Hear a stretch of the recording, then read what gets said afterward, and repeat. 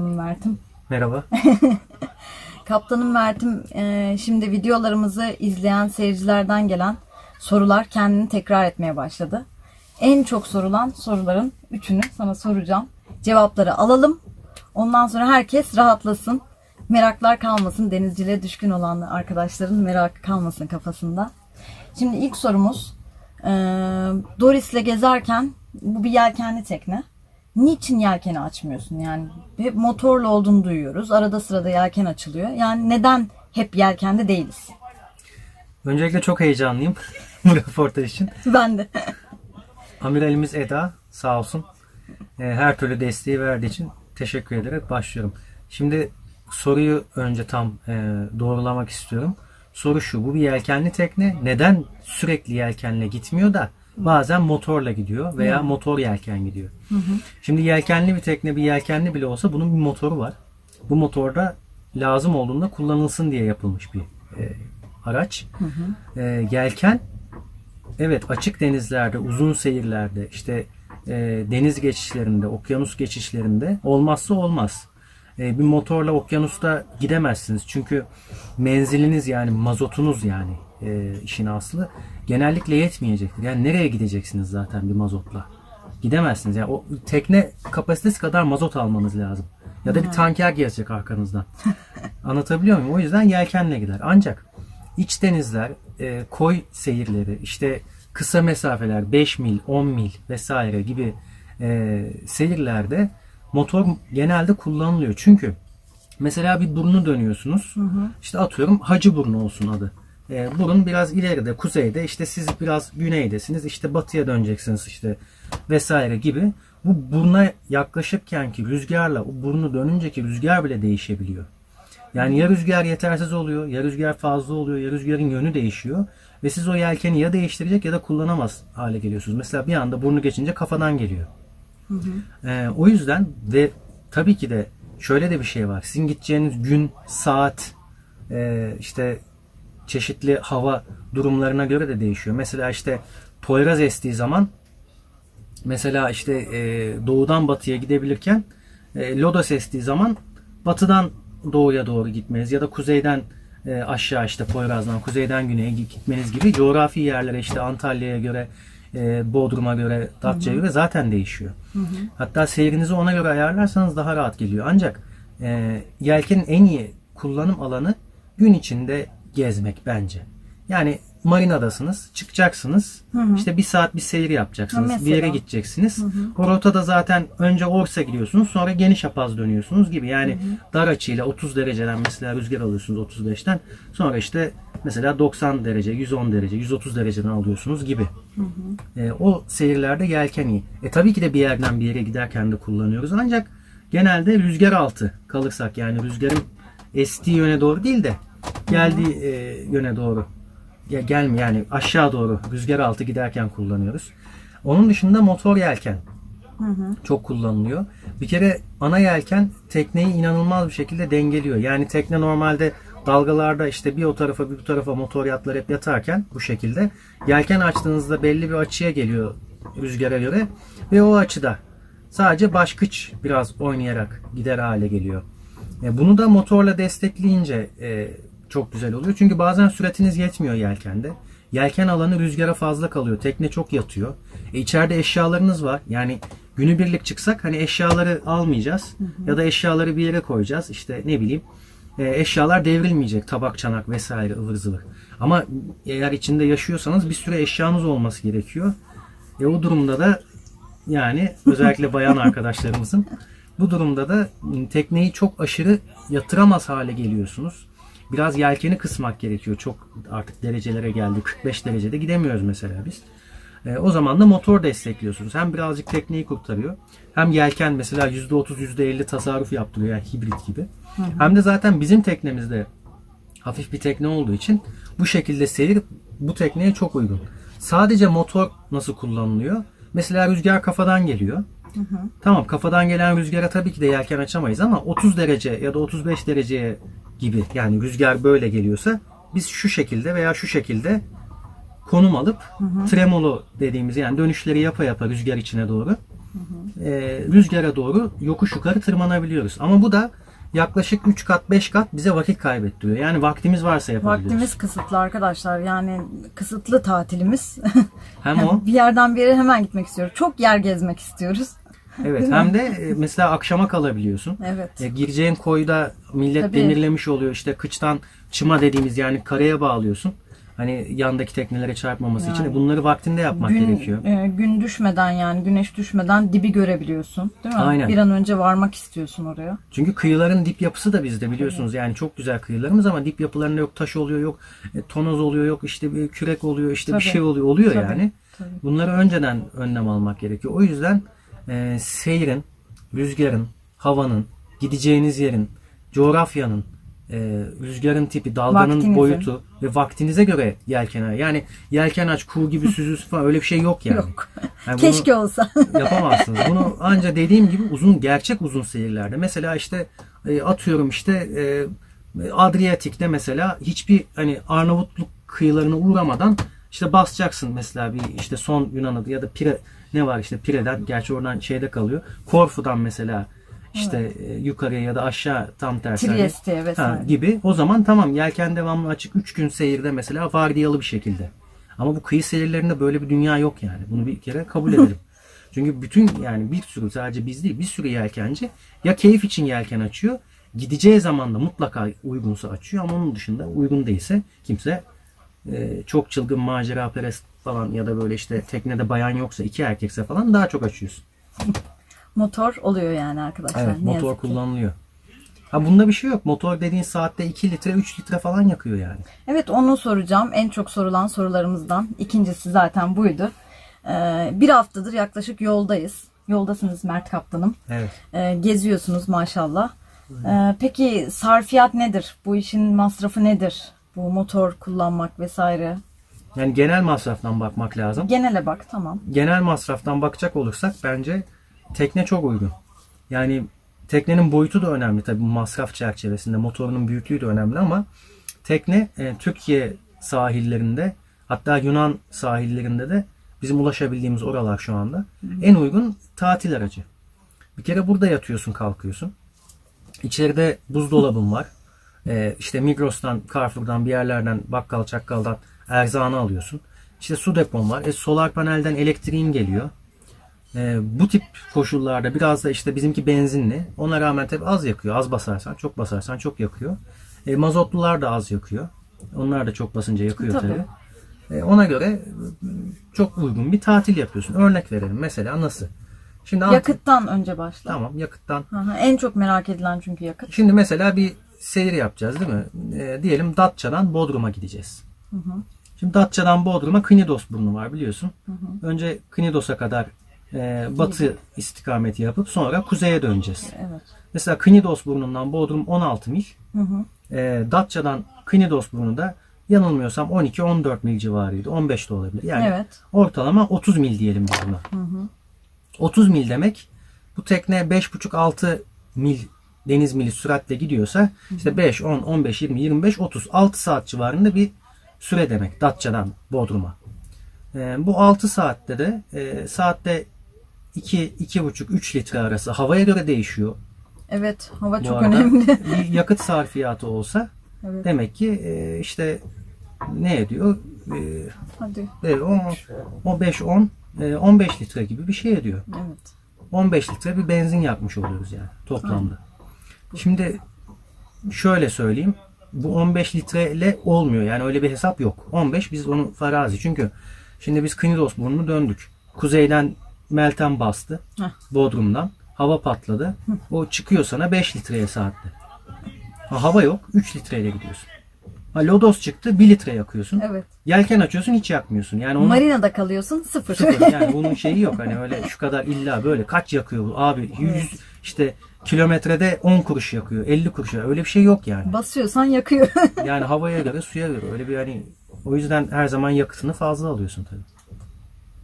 Diğer sarfiyatlara gelince mesela şimdi biz bir restorandayız. Yani deniz restoranlar bunlar. Bunların tahta iskeleleri falan oluyor. Bazısının büyük bazısının küçük. Bunlara bağlıyorsunuz. işte demir atıyorsunuz veya tonoz denilen denizin içinde olan halatlardan çekiyorsun. Kıçını bağlıyorsun iskeleye. veya aborda oluyorsun falan bir şekilde bir tekneye. Ee, akşam yemeğini yiyorsun. Genelde çok iyi insanlar, çok tatlı işletmeciler oluyor. O yörenin halkı oluyor zaten bunları işletenler. Ee, çoğu öyle yani. Gerçekten öyle. Çok lezzetli işte balıktı, köfteydi, ne bileyim tavuktu falan. O gün ne varsa. Ha, o gün Ya ne da- varsa özellikle taze. Biz Onlardan yiyorsun. Gözde mesela şu anda Ali Bar restorandayız. Ali abi bugün bize sokar yedirdi. Biz Hem de sokar çok deriz. güzel. Sokkan yani. Hem de müthişti. Müthişti. Yanına kocaman Ne patatesle varsa. salata yaptı falan. işte şimdi onu yedik mesela. Ee, biz akşam yemeği parasını ödeyeceğiz. Ee, iskelede kalacak. Ee, işte suyumuz bitmişti. Suyu doldurduk. Ya buraya gelirken de bir 5 litre falan benzin yaktık.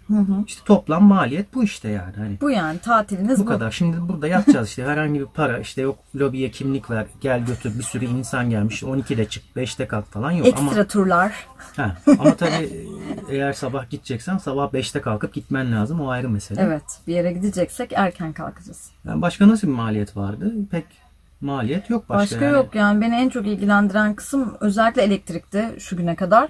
Bu yaz artık biz e, çok şükür güneş panelliyiz. Çevreci bir tekneyiz. Güneş panelli olduktan sonra elektrik sarfiyatımız hiç olmadı. E, Yetiyor. Suyumuz da yetiyor bize. Aynen 120 litre bir su deposu var. Yani Ee, işte duş alırken mesela işte hemen şampuan bir lokma. Sonra E, tabii. üzerine su hani öyle su akmayacak Aynen. yani. Veya işte meyve yıkarken bir tasın içinde meyveleri yıkıyorsun falan. Bunları evet. öğreniyorsun iki zaten. kere kullanıyorsun suyu ve- vesaire. Tabii. Ve bu arada lütfen lütfen arkadaşlar özellikle hanımlar bulaşıklarınızı lütfen Turmepa gibi efendime söyleyeyim başka markalar da var. Lütfen çevreye zarar vermeyen deterjanlardan kullanın. Ben seçtim aldım el sabunum vesairem hepsi üstüne yazıyor vegan yazıyor eco friendly Aynen. bir şeyler bir şeyler yani onlardan seçin ne olur. Çünkü lavabo direkt denize gidiyor. Yani lavabo atığı bazı büyük teknelerde gri su derler yani ikinci bir pis su tankı var. Bizde ve küçük teknelerin hiçbirinde yok. Direkt denize çıkar bu. Evet. E, o yüzden e, bulaşık deterjanını mutlaka çevreci bir deterjan vermemiz lazım ki denizde çözülsün yani. var her yerde var. Carrefour'da var, Migros'ta Fiyatı var. aynı gibi. Sadece o deterjan reyonunda araştırın yani. Hep en- kenarda köşede oluyor ama bulacaksınız. Üstü zaten yeşil mavi renkte oluyorlar Aynen. genelde. İlla bulunuyor yani. Gayet de lütfen. güzel. Sabunu falan da var. Elimizi Çevre. de onunla yıkıyoruz. Bayağı mis gibi böyle Hacı Şakir kokuyor elleri. Evet, eski Gayet memnunum. sabun kokuyor. Aynen. Aynen. Sarfiyat olarak elektrik şu an sıfır. Yani güneş panelini aldık. 460 liraya aldım güneş panelini. Ee, akümü değiştirmem lazımdı. İkinci akü jel akü o eskimişti. 1000 liraya aldık onu da. Yani 1500 lira deyin. Ee, 1500 liraya 724 bu elektrik var. Buzdolabı var. Kompresörlü gerçek buzdolabı. Onu çalıştırıyor. Teybi çalıştırıyor. Aydınlatmaları çalıştırıyor. İşte laptop şarjımızı yapıyoruz. Ne bileyim telefonları şarj ediyoruz. Drone'u falan şarj. Her şeyi yapıyoruz yani. Bir, tamamen Yetiyor. Yetiyor. Hiç Evet, elektrik unuttuk yani. Hiç Hiç kalmadık. yani. Ha elektriğin bu arada avantajı ne oldu? Dediğim gibi 1500 liraya ki aküyü çıkar. Çünkü akü zaten zorunlu. İlla ikinci bu akün olacak. 460 liraya bir solar panel aldık değil mi? Euro olarak kaç euro ediyor? 70 euro civarı bir şey ediyor. Arkadaşlar bir Yunan adasına demirlerseniz günlük 4 euro elektrik alıyorlar. Yani yaklaşık 15 günlük elektrik parasına ömür boyu demesek de bir 20 senelik elektriğiniz oluyor yani Olmuş solar yani, panelden. Aynen. Aynen. Yani bu tip basit şeylerle işler aslında Evet. çözülüyor. Yani sarfiyat sana bağlı. Yani sen efendim ben işte bilmem ne ütülü pantolon giyeceğim. Ben işte arı olmayan yerde yemek yiyeceğim. Efendim ben işte sıcak suyla böyle yüzlerce litre harcayarak duş alacağım. İşte efendim tekne sallanmasın. Yok efendim klima olsun. İşte ne bileyim e, işte güneş leneceğim hani e, alan şu evet. olsun bu olsun Yok falan. dibe ışık vermeliyim teknemden böyle böyle vöz vöz. O zaman sakın yelkenli falan almayın. Denizi de pek düşünmeyin. Yazık. Mümkünse de bulaşmayın derim ben. Kıyılarımızda Belek'te, Kemer'de 5 yıldızlı otellerimiz var. Aynen. Goodbye. Çünkü onlarda devam Yani, edin. E, hiçbir şekilde denize bulaşmayın. Lütfen. E, Deniz öyle bir şey değil. Yani bir kamp alanı gibi düşünün. Evet. Tabii ki de lüks motor yatlar falan kaptanlı işte tekneler gerekli rahatsızlığı verip hepsi için söylemiyorum bu arada. Yani Evet yapanlar için söylüyorum. ederim. Çok Çünkü saygılıları da var. Geçen değil mi Datça'da Mustafa abilerle tanıştık. Onların da lüks bir motor Aynen. yatı var. Gayet kocaman. 560 beygir motor. Sıfır rahatsızlık yani. Gibi. Aynen. Sarfiyat konusu bu. Size bağlı. Yani Evet, günlük sana bir... bağlı. Ha şeyi de söyleyelim. Marinaları da söyleyelim. Ha, Basitçe. mesela örnek. En son mesela Ören Marina'da, Gökova'da Ören Marina var. Datça'da kaldık. Hemen Bodrum'un aşağısında. Bu birinci örnek olsun. İkinci örnek de Datça'daki e, rıhtım olsun. Şimdi şöyle bir seçenek var. Bir balıkçı barınakları. iki belediye rıhtımları. Üç marinalar. Dört işte restoran iskeleleri gibi Dört ayrı mekan var. Marinalar en lüksü. işte içerisinde her türlü imkan, duş, tuvalet vesaire oluyor. Daha kasıntı yerler oluyor. İşte usta sokarken para alıyorlar falan filan. Yani. Ama çoğu büyük teknenin mutlak ihtiyacıdır yani. Evet. Yapacak başka bir şey yok. Evet, iyi ki de Hele- varlar. Tabii ki de. Hele kış şartlarında başka bir seçenek genelde kalmıyor. İki balıkçı barınakları. Genelde tonozların birbirine karışık olduğu, kimisine demir atılan, kimisine atılmayan, çeşitli değişik e, türden fiyat çerçeveleri olduğu, tanıdıkların işte çalıştığı hani gibi şeyler var balıkçı barınakları da genelde bakımsız oluyor. Çünkü Maalesef. kooperatifler işletiyor. E onların para döngüsü ya zayıf oluyor ya başka şeyler oluyor. Denetim de pek yapılmıyor Evet, sanırsam. aynen. Yani hiç tuvaleti evet. olmayan balıkçı barınakları var Aynen yani. tuvaleti yok yani mesela. Elektrik vermiyor, su vermiyor. Aynen. Pis su al- almıyor falan böyle. Hani tekneden pis su almıyor. Allah'a emanet. Aynen. Yazık. Halbuki Bu en var. büyük değerlerimizden olması Ee, lazım. üçüncümüz neydi? Ee, Rıht, e, restoran dedik zaten. ha belediye rıhtımları var. Hı. Belediye rıhtımları da e, çeşitli işte mesela Muğla'dadır en çok bunlar zaten. Genelde deniz memleketi. Tabii diğer İzmir'de şeyler var her yerde. E, bunlar da be- ilçe belediyelerin daha önceden e, Ha evet. fiyatlandırdığı. Şimdi galiba büyük şehre geçti. Tam prosedürleri bilmiyorum. E, belirli bir fiyat koyuyorlar işte şu şu metre bu kadar diye. Mesela onlarda da bir saçmalık var. En küçük 10 metreden başlıyor. Yani 10 metreye kadar herkes aynı fiyatı. İster 5 metre kayıkla git. ister 9 9 9 metre 9,5 metre yelkenliyle git ki bizimki 8 metre aynı parayı ödüyorsun. E, onların fiyatı az değil. Onu da sonra söyleyeceğim. Bir de en son işte restoranlar var. Restoranlarda akşam yemeğini yiyorsun. Dediğimiz Herhangi bir para gibi. ödemiyorsun yani. O zaman hemen fiyatını söyle. Fiyat. Bu üçü yani en son üçünde kaldığımız için bu üçünü örnek Evet. veriyoruz. Ören Gökova, Ören Marina, Setur Marina, süper lüks. Duşları, tuvaletleri bile klimalı. E, her türlü imkana sahip. İçinde benzinci olan e, yer. Şimdi bunlarda günlük fiyat veriyorum fakat aylık fiyat, yıllık fiyat bambaşka. Evet. Üçte biri, dörtte biri de geliyor. Günlük 100 lira. Evet biz 100 lira verdik. İçinde son. her türlü imkan var. Ama bunu yıllık yaptığınızda günlüğü 25 liraya ya da 30 liraya falan düşüyor. Ee, balıkçı barınakları aylık fiyat uyguluyorlar özel tekne olduğu için yıllık fiyattan vermiyorlar. Evet. Aylık 460 lira 500 lira gibi bir maliyetleri var. Belediye, Datça Belediye, Belediye mesela. rıhtımları günlük 80 ila 100 lira. E, Datça 80, e, Kalkan Belediye 100 lira alıyordu. Yani Ha. Ören Marina ile aynı. Ve hiçbir şey yok. imkan yok. Sıfır. Sadece tekneni bağlıyorsun. Duş tuvalet de yok. Elektrik, su Onlar ekstra. ekstra. Yani. Ama Ören Marina'da da ekstraydı. Bir de e, Ali abi gibi güzel iskelesi olanlar var. Onlarda hiçbir para vermiyorsun. Suyunu, elektriğini de kullanıyorsun. Mesela çiftlik koyundaki Çiftlik Azmak, mesela Azmak restoran. restoran. Orada çok güzel. Yemekleri de güzel. Tavsiye Deniz ederiz. kızı mesela. Aynen Deniz Kızı Kaptan Restoran. O da Gökova'da. Yarın gideceğiz. Kara, inşallah. Karaca Söğüt'te de var şimdi. Oralara da bakacağız. Bu. O Evet. zaman e, üçüncü sorumuza geçiyorum. Bu aslında birinci soruyla e, eş, yani yakın yaklaşık ama en çok sorulan yine ayrı kendi başına çok soruluyor bu soru. E, yelken yaparken yelken esnasında bir motor sesi duyuyoruz arkada. Yani illa mı yani o motor niye arkada çalışmak zorunda? Yani- Mert Kaptan. Şimdi şöyle bir şey örnek vereyim. Ee, Yani tam kıs kapatsak böyle şıkır şıkır suları dinlesek o güzel olmaz mı? olur. Çok Niye güzel olmasın? olur. Çok güzel olur. Yapıyoruz da. Yapmıyor da değiliz. Daha e, ya uzun seyirlerde ya kısa seyirlerde ya rüzgarın uygun olduğu yönlerde vesairede mutlaka yapıyoruz zaten. Ancak dediğim gibi bazen yeterli hıza ulaşamadığı için ya da bazen çok rüzgar olduğu işte tekneyi çok fazla yatıracağı için e, motoru kullanıyoruz, destekliyoruz yani. Evet. Bu yine birinci sorunun içinde. E, Zaten limanlara gir çıkta mutlaka motorla giriyorsunuz. Bazı kanal ve boğazlarda yelken kullanımı tamamen yasak bu arada. Tabii. Mutlaka motorla. Zaten motoru açık bir tekne yelkenli tekne sıfatından çıkıyor. Ve işte hani e, yol verme, Çatışma. çatışma tüzüğüne göre de e, mutlaka e, motorlu tekne sınıfında sayılıyor.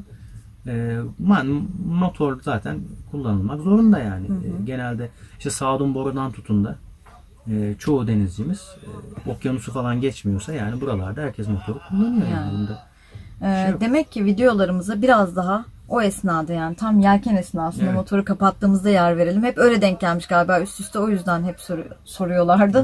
Artık daha çok yer vereceğiz merak etmeyin. Bir de zaten bunu sordukları zaman e, çok fazla bir yelkenli tecrübesi olmadığı anlaşılıyor. Genelde evet. Çünkü zaten yelkenciler şöyle der. Sormaz Mesela onu. işte DAD rallisi var. DADD rallisi diye Türkiye'yi geziyor. İşte 2-3 yıldır Karadeniz'le başladı falan. Hı hı. Onlarda da mesela Karadeniz etabında bayağı da bir tekne 40 tekne falan geziyorlar. Ee, %30 yelken yapabilmişler. %70 Yani. motorda kalmışlar. E, Hepsi o kadar hava tekne. yani. Hava, Evet. şartlar. Hava ve şartlara göre. Onun dışında genel olarak e, bir Türkiye'de teknecilik böyle bir şey yani. evet. Budur.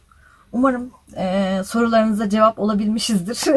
Evet. Teşekkür ederim kaptanım. bir şey değil. Bir sonraki sorularda da e, birazcık tekne cinsleri, hangi tekne kime uygun, değil mi? Öyle tabii tabii aslında evet ya. Yani Hangi maliyet, tekne tekne, alma, işte yıllık işte vergi, işte ehliyet falan denilen o belgeler falan. Evet. Onları anlatalım. Evet olabilir. Görüşmek üzere. Bay Bay.